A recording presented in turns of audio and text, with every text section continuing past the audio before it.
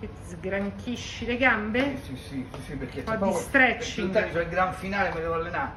Uno, due. Jump!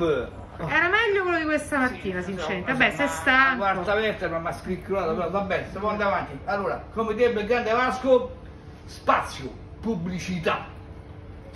Accattatevi subito questo EP di John Norm, chitarrista di Europe, con dentro membri dei Talisman di Malmsteen, edizione limitata colorata e noi abbiamo la numero 100. Se amate gli assoli alla Gary Moore, ragazzi, prendetelo di corsa, un live a Stoccolma del primo dono del chitarrista Europe John Norm. Via. Oh. Ieri abbiamo fatto colpo con David Bowie, ci voleva poco. No? Qualità audio, insomma ragazzi, No. arriveranno prossime settimane altre copie, la qualità audio era notevole. Ma oggi, questa sera, ci superiamo. Non potete capire, non potete capire, non potete capire.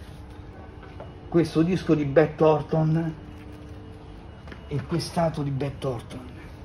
Chi è Beth Thornton?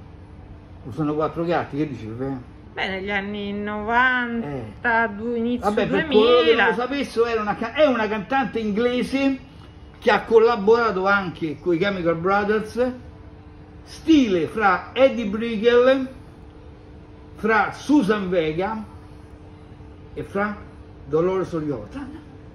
Voi non avete idea cosa sono questi dischi, una cosa incredibile, ma non soltanto sotto il profilo delle composizioni, ma come suonano! Cioè voi non avete idea il contrabbasso qua sopra come è stato registrato. Si parla tanto di ultra disc, di super audio, di...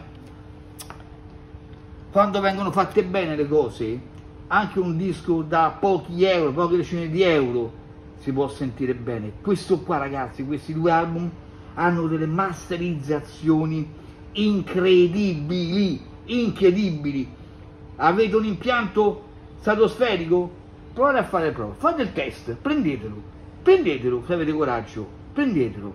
Ma al di là di tutto, musica bellissima, bellissima, una delle più grandi cantanti, non folk, cantanti pop d'atmosfera, indie pop, chiamano indie pop, la grandissima Beth Orton, voto artistico 8 e mezzo, voto tecnico audio 9 e mezzo superiore allo stesso Ziggy Stardust di David Bowie.